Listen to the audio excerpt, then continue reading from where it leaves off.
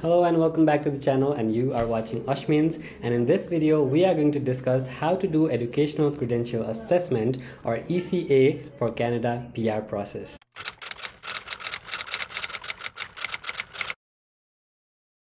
यदि तपाईँ यो भिडियो हेर्दै हुनुहुन्छ भने there might be two things one कि तपाईँले अलरेडी पिआर प्रोसेसको बारेमा बुझिसक्नु भएको छ नेपालबाट क्यानाडा कसरी पिआर अप्लाई गर्ने भनेर। र first step that is educational credential assessment कसरी गर्ने भनेर खोज्दै हुनुहुन्छ। अथवा तपाईँले मेरो प्रिभियस भिडियो हेर्नुभएको छ on how to apply PR from Nepal to Canada र त्यो स्टेप्सवाला भिडियो हेरेर चाहिँ यसमा आउनुभएको छ। यदि हेर्नु भएको छैन भने फर्स्ट त्यो भिडियो चेकआउट गर्नु होला। त्यसपछि बल्ल यो भिडियो हेर्नु होला so that it will be more useful for you now Canada PR प्रोसेसको first step is ECA that is educational credential assessment होइन? त्यो चाहिँ तपाईँले किन गर्नुपर्छ भन्दाखेरि मैले प्रिभियस भिडियोमा पनि एक्सप्लेन गरेको थिएँ। यदि तपाईँले आफ्नो ब्याचलर्स अथवा मास्टर्स डिग्री नेपालबाट गर्नुभएको छ भने चाहिँ क्यानाडाले चाहिँ त्यो डिग्रीलाई कति इक्विभ्यालेन्सी दिन्छ भन्ने कुरा चाहिँ तपाईँले चेक गराउनु पर्ने हुन्छ। र त्यसकै लागि चाहिँ तपाईँले इसिए गर्नुपर्छ।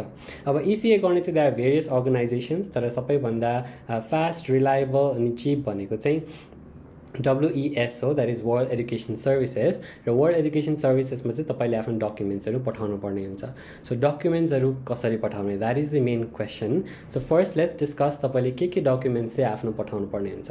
राइट सो फर्स्ट इज तपाईँको ब्याचलर्स अथवा तपाईँको मास्टर्स जुन चाहिँ तपाईँको हाइएस्ट क्वालिफिकेसन हो त्यसको फाइनल ट्रान्सक्रिप्ट जुन तपाईँलाई युनिभर्सिटीले दिएको हुन्छ। र सेकेन्ड इज डिग्री सर्टिफिकेट यदि तपाईँको डिग्री सर्टिफिकेट आइसकेको छैन भने तपाईँले आफ्नो प्रोभिजनल सर्टिफिकेट पनि अप्लाई गरेर पठाउनु पठाउन सक्नुहुन्छ। तर डकुमेन्ट्स तपाईँले ओरिजिनल चाहिँ पठाउनु पर्दैन त्यसको ट्रु कपी अथवा अटेस्टेड फर्म चाहिँ पठाउनु पर्ने हुन्छ। अनि त्यो डकुमेन्ट्स लिने हरेक युनिभर्सिटीको चाहिँ प्रोसेस डिफ्रेन्ट छ। फर इक्जाम्पल अहिले मैले यहाँ काठमाडौँ युनिभर्सिटीको डकुमेन्ट चाहिँ तपाईँहरूलाई देखाइरहेको छु। सो मेरो चाहिँ ब्याचलर्स इन डेभलपमेन्ट स्टडिज हो काठमाडौँ युनिभर्सिटीबाट र काठमाडौँ युनिभर्सिटीबाट यो ट्रु कपी लिनको लागि चाहिँ तपाईँले अनलाइन पोर्टलमा गएर आफ्नो अकाउन्ट बनाउनु पर्ने हुन्छ र ट्रु कपीको लागि रिक्वेस्ट गर्नुपर्ने हुन्छ। आई थिङ्क यसको cost is one hundred fifty rupees यो चाहिँ तपाईँले ब्याङ्कमा डिपोजिट गर्नुपर्ने हुन्छ र त्यसको स्लिप चाहिँ नि अनलाइन अपलोड गर्नुपर्छ। सो काठमाडौँ युनिभर्सिटीको यो वान्स तपाईँको वेबसाइटबाट रेडी भइसकेपछि यो डकुमेन्ट इदर तपाईँले school of management or school of आर्ट्सबाट चाहिँ पिक गर्न सक्नुहुन्छ र यो चाहिँ तपाईँले रेडी भइसकेपछि आफ्नो भाउचर लिएर जानुपर्ने हुन्छ र यो चाहिँ पिक गर्नुपर्ने हुन्छ। अनि यसरी सिल गरेर यो जुन एन्भेलपको बिचमा स्ट्याम्प लगाएर अनि बिचमा सिग्नेचर हालेर चाहिँ यसरी युनिभर्सिटीहरूले चाहिँ ट्रु कपी चाहिँ प्रोभाइड गर्छ। यदि त्रिभुवन युनिभर्सिटीको कुरा गर्ने हो भने त्यसको चाहिँ प्रोसेस अलिकति डिफ्रेन्ट छ। त्यसको लागि चाहिँ तपाईँले आफ्नो ट्रान्सक्रिप्ट र प्रोभिजनल अर डिग्री सर्टिफिकेटको फोटो कपी चाहिँ आफैले लिएर गएर जुन चाहिँ जुन चाहिँ विन्डोबाट तपाईँहरूले त्यो कलेक्ट गर्नुहुन्छ ट्रान्सक्रिप्ट र आफ्नो प्रोभिजनल एक्चुअलवाला त्यहीँनिर गएर भेरिफाई गराउनु पर्ने हुन्छ र त्यो भेरिफाई गराइसकेको डकुमेन्ट्सलाई चाहिँ फेरि अटेस्ट गराउनुको लागि एउटा छुट्टै अफिसमा चाहिँ दिनुपर्ने हुन्छ त्रिभुवन युनिभर्सिटीभित्रै र त्यसै गरी पूर्वाञ्चल अनि त्यसपछि पोखरा युनिभर्सिटीको पनि आफ्नो प्रोसेस चाहिँ होला। सो प्लिज आफ्नो युनिभर्सिटीसँग अथवा आफ्नो युनिभर्सिटीको वेबसाइटमा चाहिँ चेक गर्न सक्नुहुन्छ र त्यसरी तपाईँले आफ्नो डिग्री सर्टिफिकेट र ट्रान्स ट्रान्सक्रिप्टको कपी चाहिँ नि वेस्टमा पठाउनु पर्ने हुन्छ।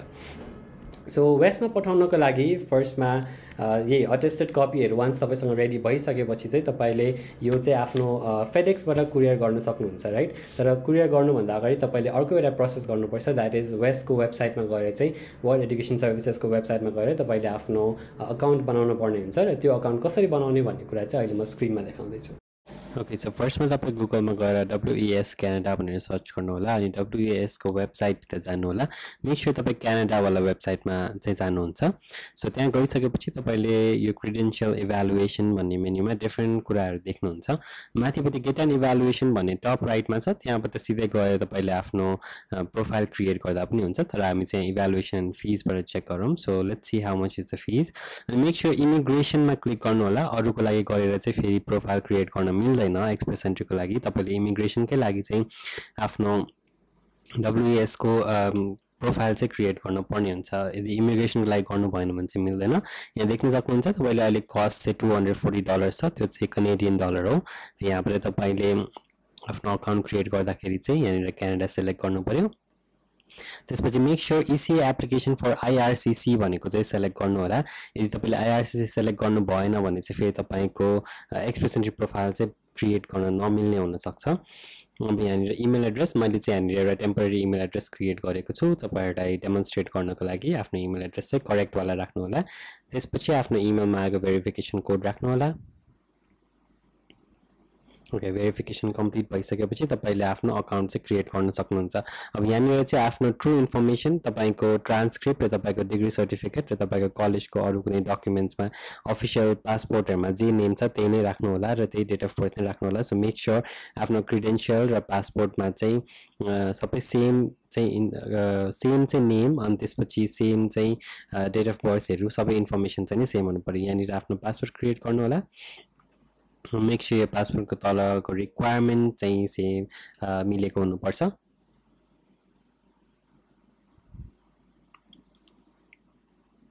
त्यसपछि पासवर्ड रिएन्टर गर्नु होला ओके यसमा एउटा सेक्युरिटी क्वेसन तपाईँले जे पनि चुज गर्नुहुन्छ मैले यहाँ what is a first name pet's name भनेर चुज गरेको छु सो तपाईँको आफ्नो पेट छ भने त्यही युज गर्दा पनि भयो र त्यसपछि आफ्नो अकाउन्ट क्रिएट गर्नुपर्ने हुन्छ।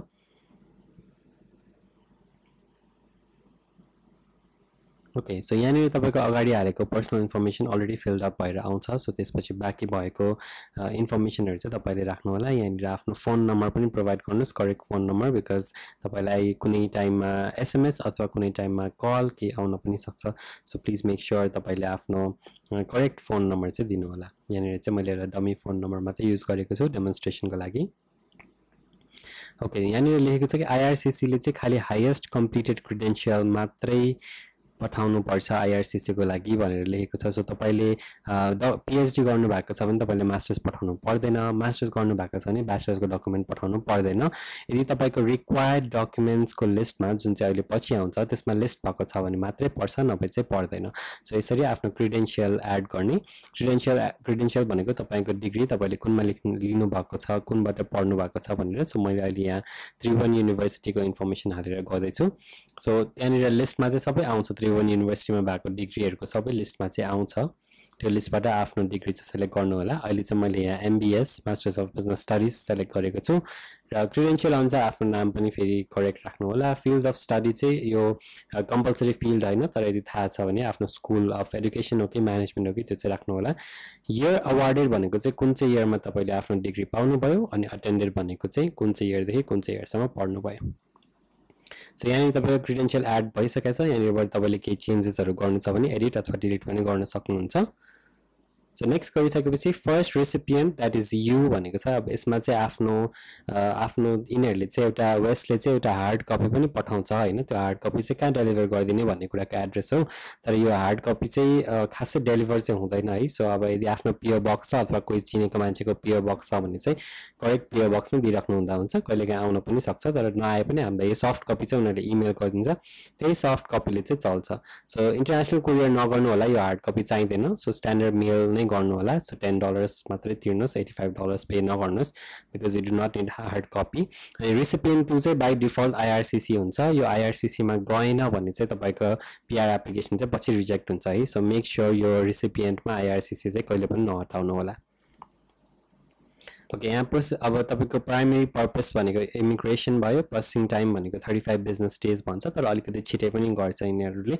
सो यो यसमा के के पर्छ? टु हन्ड्रेड फोर्टी डलर्समा तपाईँलाई भनेर चाहिँ यहाँनिर लिस्ट छ सो यो चेकआउट गर्नु होला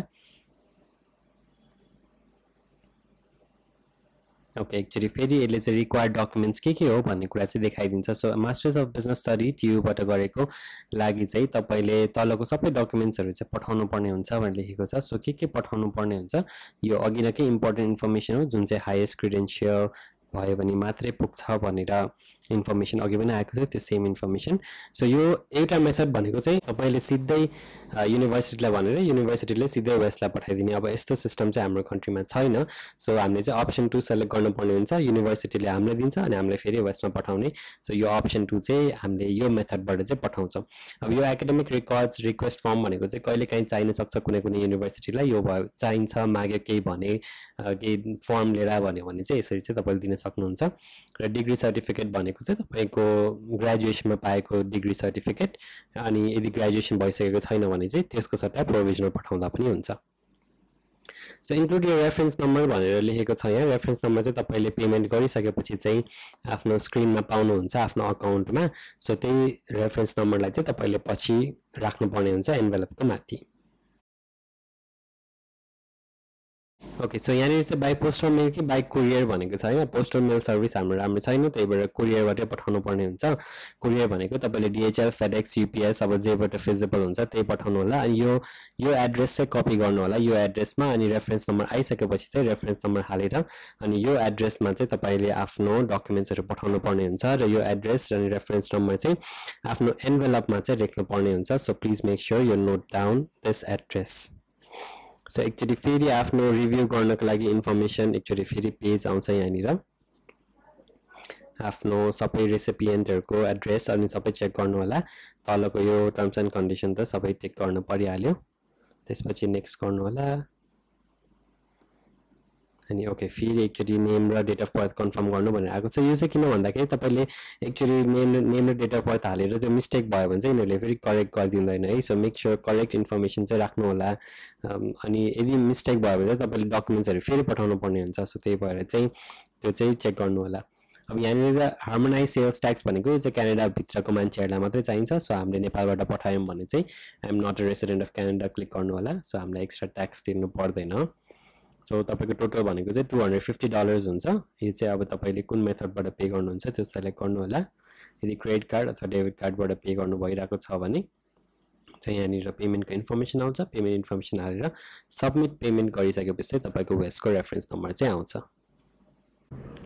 ओके सो यसरी आफ्नो वेस्टको पोर्टलमा चाहिँ आफ्नो सबै डिटेल्सहरू हालेर तपाईँले लगइन गरिसक्नु भयो र सबै प्रोसेस गरिसक्नु भयो भनेपछि चाहिँ payment like shown in the screen अघि पेमेन्ट गर्नुपर्ने हुन्छ पेमेन्ट गरिसकेपछि तपाईँले एउटा वेस्ट रेफरेन्स नम्बर पाउनुहुन्छ है। अनि त्यो रेफरेन्स नम्बरलाई चाहिँ वेस्टको वेबसाइटमा जुन एड्रेस दिएको छ जुन चाहिँ स्क्रिनमा पनि अहिले देख्न सक्नुहुन्छ त्यो एड्रेसमा चाहिँ तपाईँले आफ्नो वेस्टको रेफरेन्स नम्बर हालेर यो डकुमेन्ट जुन युनिभर्सिटीबाट डकुमेन्ट सिल डकुमेन्ट लिनुहुन्छ त्यहाँनिर चाहिँ तपाईँले hand written or paste print गरेर पेस्ट चाहिँ गर्न सक्नुहुन्छ। अनि यो डकुमेन्ट चाहिँ तपाईँले नेक्स्ट स्टेप भनेको लगेर फेडेक्सबाट अथवा डिएचएलबाट अथवा कुन चाहिँ कुरियरबाट तपाईँलाई सजिलो पर्छ त्यो कुरियरबाट चाहिँ तपाईँले वेस्टको त्यो एड्रेसमा चाहिँ पठाउनु पर्ने हुन्छ।